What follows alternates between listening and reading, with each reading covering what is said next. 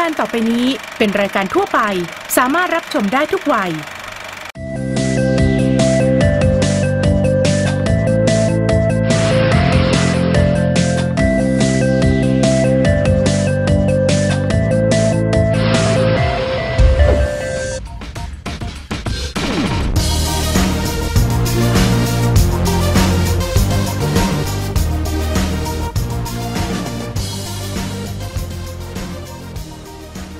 สวัสดีครับ คุณผู้ชมครับ วันนี้พบกับผมนนทวัฒน์อนันต์พรจินดาเช่นเคยนะครับ กับ Gateway to ASEAN ครับ รายการที่จะพาคุณผู้ชมได้มีโอกาสไปเปิดประสบการณ์ใหม่ๆ ในเรื่องของการท่องเที่ยวนะครับ และสำหรับในวันนี้ครับ ผมจะนั่งเครื่องการบินไทยครับ ไปที่กรุงฮานอยประเทศเวียดนาม เราจะไปดูกันนะครับว่าที่นี่มีอะไรที่น่าสนใจกันบ้างถ้าคุณผู้ชมพร้อมแล้วล่ะก็ติดตามกันได้กับช่วงนี้เลยครับ AEC Travel ครับ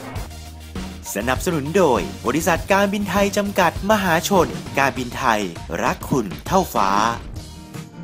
สำหรับการเดินทางไปยังกรุงฮานอยของประเทศเวียดนามในครั้งนี้นะครับ เราออกเดินทางจากท่าอากาศยานสุวรรณภูมิ โดยเครื่องของการบินไทยครับ ใช้เวลาโดยเฉลี่ยประมาณ 1 ชั่วโมงกับอีก 40 นาทีเท่านั้นนะครับ ซึ่งการบินไทยก็มีเที่ยวบินให้บริการทุกวันครับ ตั้งแต่เวลา7นาฬิกา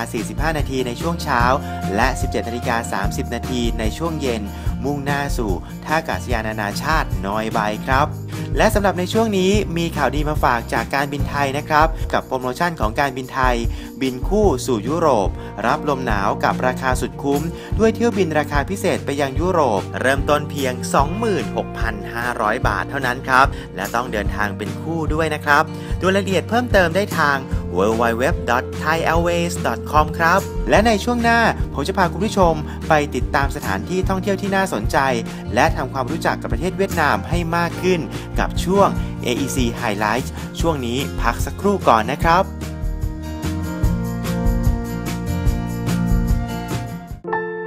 กว่าครึ่งศตวรรษ ใต้ฟ้าผืนนี้ พ่อคือแรงบันดาลใจ ให้เราเข้าใจความหมายของคำว่ารัก ให้เรารู้คุณค่าของการดูแลกันและกัน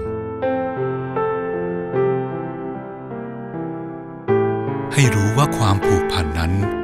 กว้างใหญ่กว่าผืนฟ้า ให้เรามองไปข้างหน้า แม้ต้องฝ่าพายุ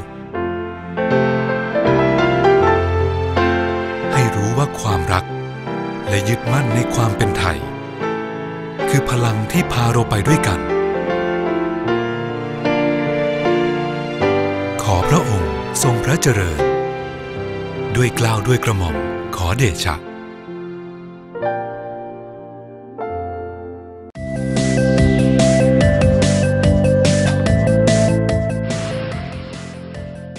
กลับมาในช่วงนี้ครับเราจะไปติดตามกันนะครับว่าที่ประเทศเวียดนามมีอะไรที่น่าสนใจบ้างในช่วง AEC Highlight ครับ สนับสนุนโดย บริษัทการบินไทยจำกัดมหาชน การบินไทย รักคุณเท่าฟ้า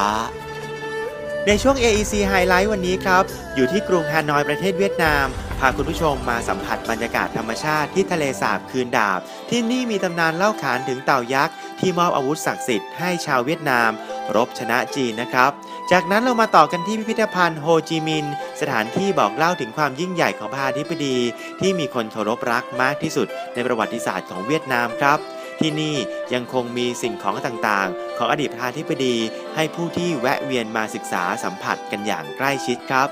เวียดนามมีเทศกาลตามปฏิทินจันทรคติมากมายนะครับ เทศกาลที่สำคัญที่สุดก็คือ การเฉลิมฉลองปีใหม่ตรุษยวนรองลงมาก็คือ เทศกาลเต็ด เป็นเทศกาลทางศาสนาที่สำคัญที่สุดที่มีชื่อเต็มๆว่าเต็ดเหมียนดานครับ หมายความว่าเทศกาลแห่งรุ่งอรุณแรกของปี มีขึ้นระหว่างปลายเดือนมกราคม ถึงต้นเดือนกุมภาพันธ์ครับมาถึงช่วงท้ายนะครับของ Gateway to ASEAN แล้วครับ เราจะเห็นได้นะครับว่าไม่ว่าจะเป็นกรุงฮานอยหรือว่าโฮจิมินห์ของเวียดนาม ล้วนแต่เป็นเมืองที่มีเสน่ห์น่าประทับใจทั้งสิ้นเลยนะครับ อย่าลืมครับครั้งหน้าเดินทางครั้งต่อไป นึกถึงการบินไทยด้วยนะครับสำหรับวันนี้ต้องขอบคุณอย่างยิ่งครับ บริษัทการบินไทยจำกัดมหาชน ที่ทำให้เราได้สามารถเดินทางไปสัมผัสสถานที่ต่างๆ ได้อย่างมีความสุขครับพบกับ Gateway to ASEAN ได้ใหม่ในครั้งหน้าสำหรับวันนี้ผมนนทวัฒน์อนันต์พรจินดาต้องขอลาไปก่อน สวัสดีครับ